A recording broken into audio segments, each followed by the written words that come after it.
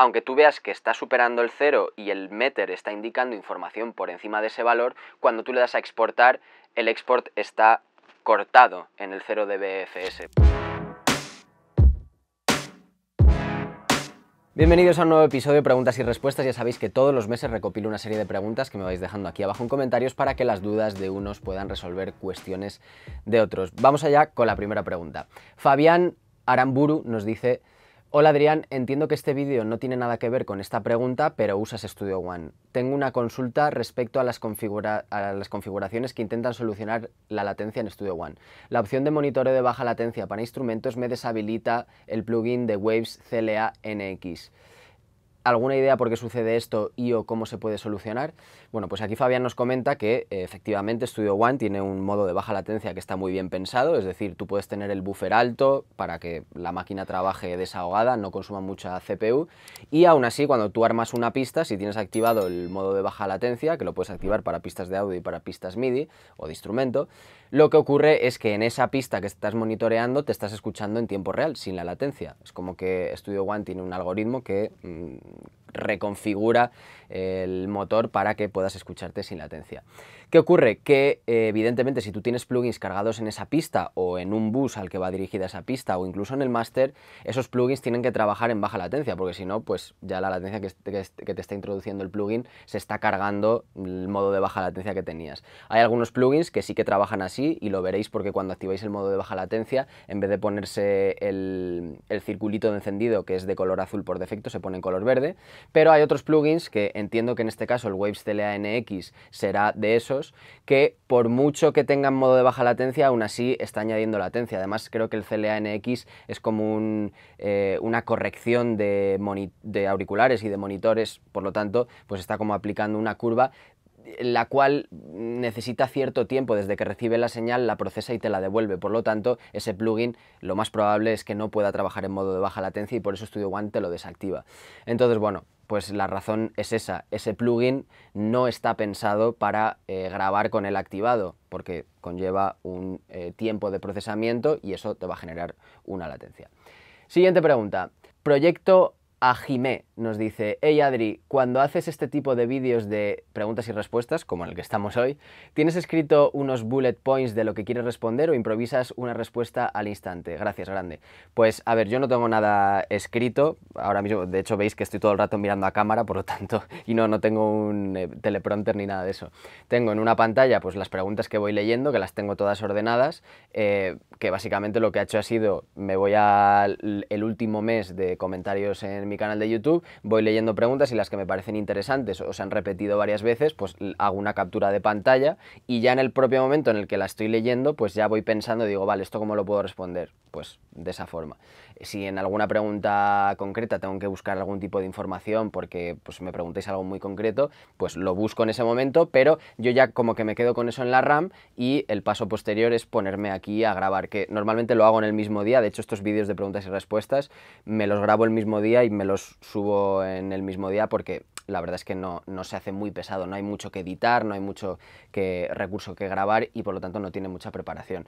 Entonces, ¿qué pasa? Que no me pongo bullet points ni nada porque yo digamos que ya eh, mi trabajo o en lo que me he querido enfocar ha sido en pulir mis skills de cara a comunicarme. Entonces intento eh, utilizar palabras o frases lo más escuetas posibles, pero que eh, den la información concreta. Intento pues, tener un vocabulario relativamente amplio y bueno, pues ser, digamos, de alguna forma articulado a la hora de expresarme. Y bueno, pues creo que con eso y el conocimiento que ya tengo de tantos años recibiendo preguntas y de tantos años metido en esta, en esta movida, en este sector, pues se me hace fácil, digamos, responderos a las preguntas.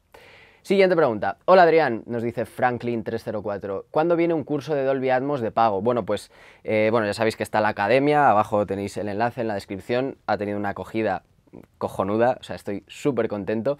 Y ahora estamos preparando, ya tengo el siguiente curso grabado, que será sobre bandas sonoras, que me lo habíais pedido también varios usuarios cuando lancé la academia y todo eso. Y estoy preparando también el de Dolby Atmos, que irá además de la mano con el curso de producción de Urbano. Bueno, todo esto mi intención es sacarlo antes de que acabe noviembre, y bueno, pues se va a ir gestando y se va a ir viniendo, os iré eh, dando noticias. Aún así, podéis meteros en la academia porque ya hay cursos disponibles, está todo el paquete de, rock moderno donde veis, podéis comprar el curso de grabación de voces, tenéis grabación de baterías, grabación de guitarras, bajo, mezcla, mastering y bueno, todo ello ya sabéis que es colaborativo, no todos los cursos los doy yo, sino que hay otros eh, profesionales y otros expertos que están dando esos cursos, por lo tanto, pues ya os digo, aquí abajo en la descripción tenéis el enlace, espero veros a todos por ahí por la academia. Siguiente pregunta. De Fernán2757 nos dice, ¿a qué, le, ¿a qué le metes la inversión de fase? Esto, mira, concretamente además es de un extracto de un curso, el curso de grabación de baterías, o el de mezcla, ya no recuerdo, creo que es el de mezcla. Em, bueno, nos pregunta aquí eh, este usuario que yo activo, desactivo la inversión de fase y os voy como comentando de probar a invertirla, a desactivar la inversión para ver cómo suena, cómo suman todas las pistas, en este caso de una batería, que ya sabéis que la batería es un instrumento complejo, se graba con muchos micrófonos y cuando tienes diferentes micrófonos recogiendo una misma fuente, dependiendo de las distancias que manejes y dependiendo de los estéreos, etcétera, puede haber ciertas cancelaciones de fase. Y eso se traduce en que una cancelación de fase te anula parte del sonido, no tienes el espectro completo, etcétera, etcétera, etcétera. ¿Qué truco doy yo en este curso para el tema de la inversión de fase? Bueno, pues yo siempre me voy como fijando, eh, no en el semiperiodo más mm, que más amplitud tiene, sino en el primero de todos, en el primero que pueda haber, digamos, donde entraría el, golpe, el transitorio, pues ese intento que me fijo en que esté siempre mirando hacia arriba. Aún así os comento en el curso que no os dejéis solo guiar por la vista, guiaos por el oído. Por mucho que a ti te esté diciendo que ese semiperiodo está para arriba, si tú cuando activas la inversión o cuando desactivas te suena peor, pues coño, de caso a tu oído que es música, ¿no? Que para eso está. Así que bueno, es un poco eso. En el curso evidentemente pues se ve como más en detalle, hago diferentes pruebas y bueno, pues a eso me refiero, a que siempre juzguéis con el oído. Siguiente pregunta. Alexis Pepes 4031 nos dice, exporté los stems ya consolidados para mezclar a un ingeniero de audio desde Studio One para mezclar en Pro Tools, pero me manda la canción mezclada con tempo alterado. ¿Qué pasó ahí? Bueno, ha pasado dos cosas. Una, yo te recomiendo, que es además como yo siempre pido los stems para mezclar, que me manden un premix. Un premix es pues tal y como suena en la DAW de mi cliente, mm, un WAV, una exportación, y así yo lo puedo escuchar y no solo puedo ver que este tipo de cosas no ocurran, porque entonces yo estaría viendo que el premix y lo que estoy mezclando están en tempos diferentes, sino que además también veo si falta alguna pista que no me han metido, si hay algún efecto que tengo que aplicar yo porque lo han desactivado y no lo han renderizado, cosas de esas. Siempre muy útil pedir un premix, aparte de que también te ayuda para decir, coño, esto es lo que tengo que mejorar, ¿no? Y pues lo que puede haber pasado en este caso es probablemente, yo no sé cómo habrá cargado el ingeniero en Pro Tools las pistas, pero probablemente tú le hayas dado las pistas con el tempo embebido en cada una de las pistas, es decir, con información de tempo, y a lo mejor al añadirlo a Pro Tools, pues por defecto Pro Tools creo que viene seteado a 120 BPM, imagínate que tu proyecto estaba en 130 y lo que ha hecho Pro Tools, que no lo sé si lo hace así, ¿eh? yo te estoy diciendo cómo creo que podría haber ocurrido, que así podría pasar en Studio One, es que tú metes las pistas, que la información de las pistas es que están en 130, las sesiones están en 120 y Pro Tools dice, vale, vamos a adaptar esto al grid y lo que ha hecho ha sido ralentizarlas para que estén en un grid, unas pistas de 130 estén en un grid de 120. Entonces, ¿qué pasa? Que seguramente el ingeniero no se haya dado cuenta, porque si son pocos BPM, pues igual el, Elastic Audio lo ha hecho de una forma que, que, no se nota demasiado, y cuando te lo ha mandado has dicho, coño, pero esto está en otro tempo distinto. Por lo tanto, lo que tendría que hacer en este caso el ingeniero, no creo que sea tanto problema tuyo al enviárselas, sino al recepcionarlas, lo que tiene que hacer es desactivar esa información embebida en las pistas y decirle que pues están todas a 120, por ejemplo, así de esta forma no habrá adaptaciones o que no tienen ningún tipo de información de tempo, por lo tanto no van a ser esclavas del tempo. Creo que puede ir por ahí el asunto, pero es complicado diagnosticarlo sin un poquillo más de información. Siguiente pregunta. John Mario Murallas Méndez nos dice, hola Adrián, ¿es posible traer los presets de los plugins, por ejemplo Petrucci, a este dispositivo? Nos está hablando del Neural DSP Nano Cortex, que tenéis la review que os dejo por aquí. Y bueno, pues yo comentaba que en el Quad Cortex, que es el hermano mayor, ya puedes cargar eh, los plugins de Neural DSP y tenerlos en el cacharro físicamente para tirar de su DSP y todo eso. Y en este caso comentaba que en el Nano Cortex por el momento no se puede, no se puede hacer. Yo creo que lo incorporarán en el futuro, se tienen que reservar alguna bala para meter en distintas actualizaciones futuras, pero aún así tú que sí que podrías capturar el plugin. Es cierto que capturar significa que tú lo que puedes hacer es una foto fija de esos parámetros, pero bueno, mejor eso que nada.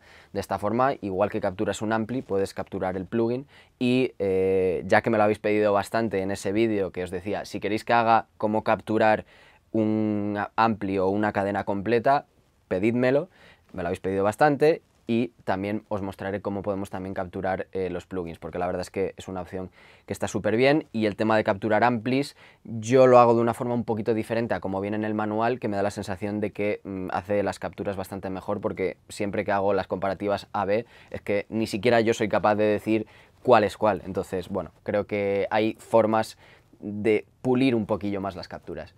Siguiente pregunta. Likan, muy buena charla, me gustó mucho, fue muy divertida y amena. Quería preguntar algo que comentó Liam sobre crear saturación con el máster de Ableton. Digamos que sobrepasar el cero y dejar el canal en rojo, eh, eh, que eso es lo que comenta Liam. ¿Podrían dar algún detalle sobre esto? Muchas gracias y un saludo.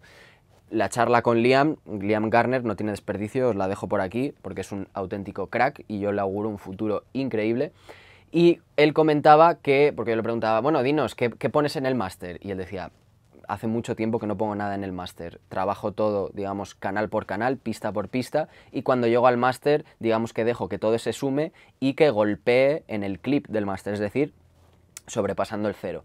¿Qué ocurre cuando tú sobrepasas el cero a la hora de exportar? No sé en el caso de Ableton cómo ocurre exactamente, pero por ejemplo en Studio One tú puedes estar sobrepasando el cero determinados, determinados samples. Es cierto que si lo, superas mucho va a sonar rajado y puede llegar a sonar mal, pero aunque tú veas que está superando el cero y el meter está indicando información por encima de ese valor, cuando tú le das a exportar, el export está cortado en el 0 de BFS. Por lo tanto, eso digamos que es como utilizar el clipping natural que te daría la DAW, que no es que sea natural, es el clipping propio de ir al límite de lo que puede soportar pues ese archivo, ¿no? digamos, cuando tú lo exportas.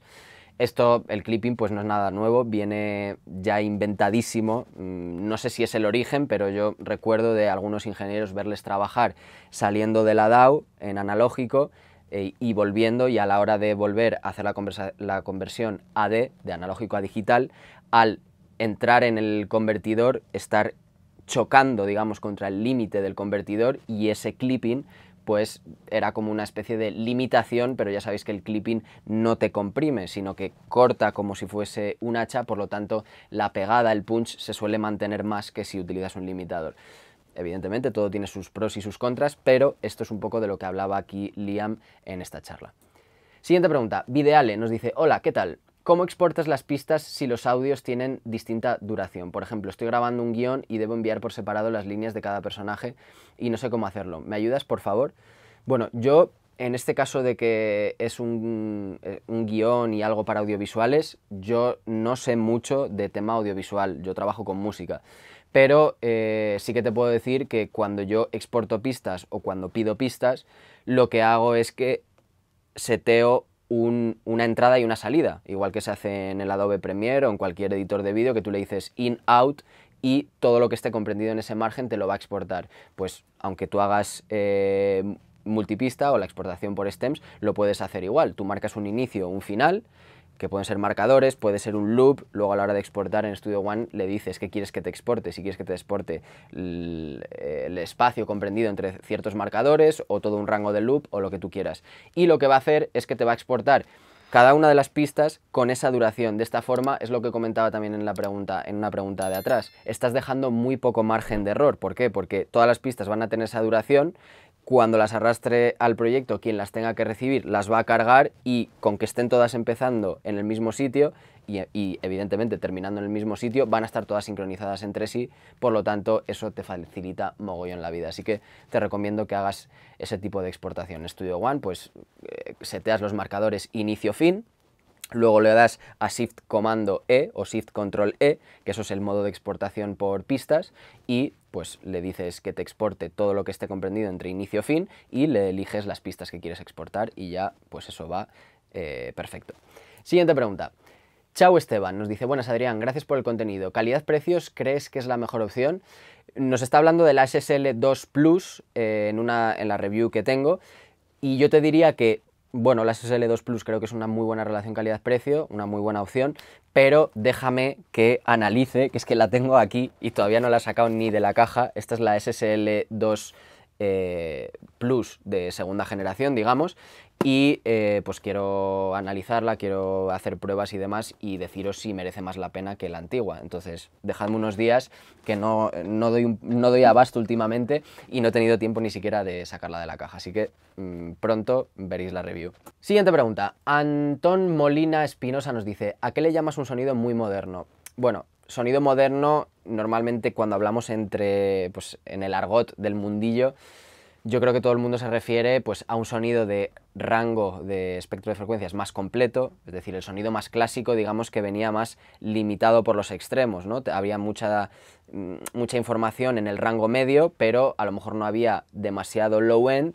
y tampoco había un top end muy mm, enfatizado digamos que con la evolución del sonido moderno, pues eso mm, se ha ido como completando más y ahora es como que todo suena un poquito más smile, no tanta información quizá eh, o, no, tanta carga en el rango medio y sí más low y más top end porque eso es como que suena más agradable. Aparte de sonido moderno también viene em, más comprimido, viene con más loudness, con más presión sonora y esto no es ni mejor ni peor que lo anterior, o sea, es las estéticas que van cambiando, hay modas, hay diferentes técnicas nuevas que te permiten pulir más el sonido y a lo mejor donde antes pues tenías ciertas barreras técnicas, hoy en día no las tienes y por lo tanto puedes apretar más, lograr más volumen. Bueno, pues eso va condicionando el sonido y yo diría que es un poco eso, un sonido más extendido en el rango a nivel de, a, nivel de tono, si hablamos a nivel de tono, más extendido en el, en el espectro de frecuencias, más grave, más low end, más top end y aparte con más presión, más apretado y más comprimido, más frontal, más, no sé, como un poquito más agresivo en ese sentido, más pegada, más percusión, etc. Siguiente pregunta. Víctor Berlana 906 nos dice, ¿y qué procesos tediosos y qué IA es la que se usa? Bueno, yo a lo que me refería aquí es en un vídeo que comentábamos cosas sobre inteligencia artificial, de, pues, coño, que viene súper bien, porque hay ciertos procesos tediosos, como pues, por ejemplo limpiar audios o mismamente la restauración de audio. Tienes algo que quieres limpiar y porque se ha grabado con cierto ruido, por lo que sea. Puede ser porque en el entorno las posibilidades eran las que eran, o puede ser porque ha habido algún error en la grabación. Bueno, pues ya hay IAs que te hacen esa reparación de una forma increíble y pues eh, no sé si existe ya, pero a mí me encantaría una IA que te, que te corte todas las S, te las limpie, te limpie los eh, silencios, etcétera. Pues eso a mí me encantaría porque es un proceso que no me gusta nada. Cuando estoy en un proceso mental creativo, tener que decir, vale, ahora tengo que parar para limpiar esto, pues es como que me rompe un poco. Hay que hacerlo, pero me rompe un poco, igual que limpiar pistas de batería, toms, etcétera. Entonces, bueno, ese tipo de procesos tediosos igual que se extrapola a otros sectores que no son la producción musical, pues de a lo mejor de traducción de un texto, de redactar algo, de lo que sea, pues coño, tú sabes lo que, sabes lo que quieres en la cabeza, pues eh, la IA te ayuda a llevarlo a la transcripción o al papel o a la pantalla de una forma más rápida. Bueno, pues esos procesos son a los que me refiero.